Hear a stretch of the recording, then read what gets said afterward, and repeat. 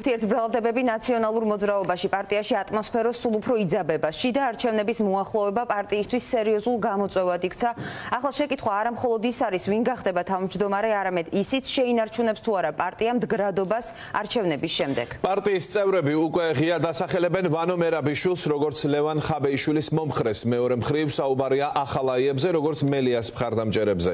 პარტიის ზოგიერთი ლიდერისგან ისეთი განცხადებებიც კეთდება, რაც მინიშნება პოლიტიკური გუნდის დატოვების გადაწყვეტილებების სავარაუდო დამოკიდებულება გადაწყვეტილებების სავარაუდო დამოკიდებული იქნება არჩევნების შედეგზე.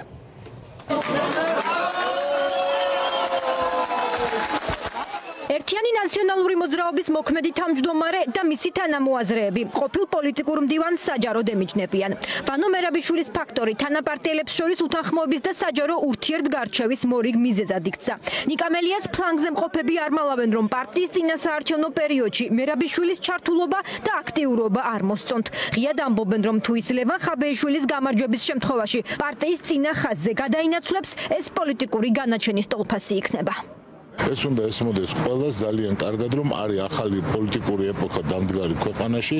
საშინაო პოლიტიკური თუ საგარეო პოლიტიკური ორიენტირები არის სრულიად გამოცვლილი და ჩვენგანაც აი ეს ვითარება ითხოვს ახლებურ მოქმედებებს ამიტომ თუ ვინმეს წარმოუდგენია რომ 20 წლის წინანდელი ფორმები შესაძლებელი არის დღეს წარმატების მიღწევა ის უბრალოდ არიცნობს ქართულ საზოგადოებას ნაციონალური მოძრაობის ლიდერების ნაწილის პოზიცია კი კიდევ უფრო რადიკალურია. პარტიის საპარლამენტო გუნდის ხელმძღვანელი ხატია დეკანოიძე ღია მინიშნებებს საკეთებს, რომ არჩევნების შედეგებმა და პარტიის ახალმა რეალობამ შესაძლოა პარტიაში მისი ყოფნა არ ყოფნის საკითხი გადაწყვიტოს.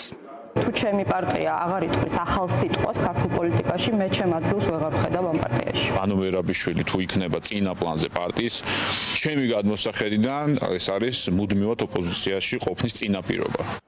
ვანო მერაბიშვილი ნაციონალური მოძრაობის ერთადერთი ყოფილი ლიდერი არ არის, რომლის გვარიც პარტიაში არსებული უთანხმოების პარალელურ პროცესებში ფიგურირებს. ბაჩანა და დავით ახალაიები ნიკა მელიას მხარდამჭერებად სახელდებიან. მეორე მხრივ ვრცელდება მედიაში ინფორმაცია ასევე ნიკა მელიას მხარდამჭერებს შორის ახალაიების შემთხვევაში, ხომ? ძალიან კონსპირაციებია, იმიტომ რომ ახლა ჯერ ეს მართლა ბინძური მ პიარ სვლა არის ძალიან დაბიო თუ აბსოლუტურად ყველამ ძალიან კარგად ვიცით განსაკუთრებით გუნდის შიგნით ვინ რა დოზით არის ჩართული ზოგადად პარტიის ცხოვრებაში. მე მუდმივად მესმის ეს კითხვა რომ ერთ მხარეს დგანა თითქოს მეები ახალაიები მეორე მხარეს მერაბიშვილი კეზერაშვილი მე ერთი რამ ვიცი რომ ამ ადამიანებს საჯაროდ პოლიტიკა არ აინტერესებს და გაცხადებული აქვს მათი ეს მიზნები და პოზიციები. ერთი კანდიდატის უკანაც მეორეს უკანაც მესამე ამის უკანაც დარწმუნებული ვარ და ვიცი რომ დგანა და დგას ათობით და ასობით ათასი ჩვენი მხარდამჭერი და შესაბამისად დარწმუნებული ვარ რომ ისინი გადაწყვეტილებებს მიიღებენ სწორედად ჩვენი ამომრჩევლების დაკვეთის შესაბამისად.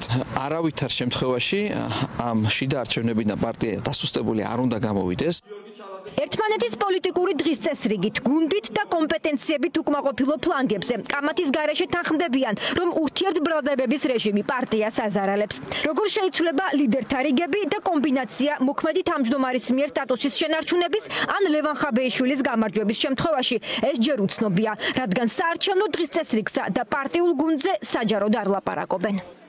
ნაციონალური მოძრაობის ამორჩეველი არის ძალიან კარგად გაცნობიერებული ყველაფერში და არის პატრიოტი. მათ გაუძლეს უამრავ ეწოლას და მიუხედავად ამისა, ისინი არიან დარჩნენ ვარდების რევოლუციის იდეალების ერთგულნი და სწორი ღირებულებების მხარეს. მე ღრმად ვარ დარწმუნებული, მათ არ გაუჭირდებათ სწორი არჩევანის გაკეთება.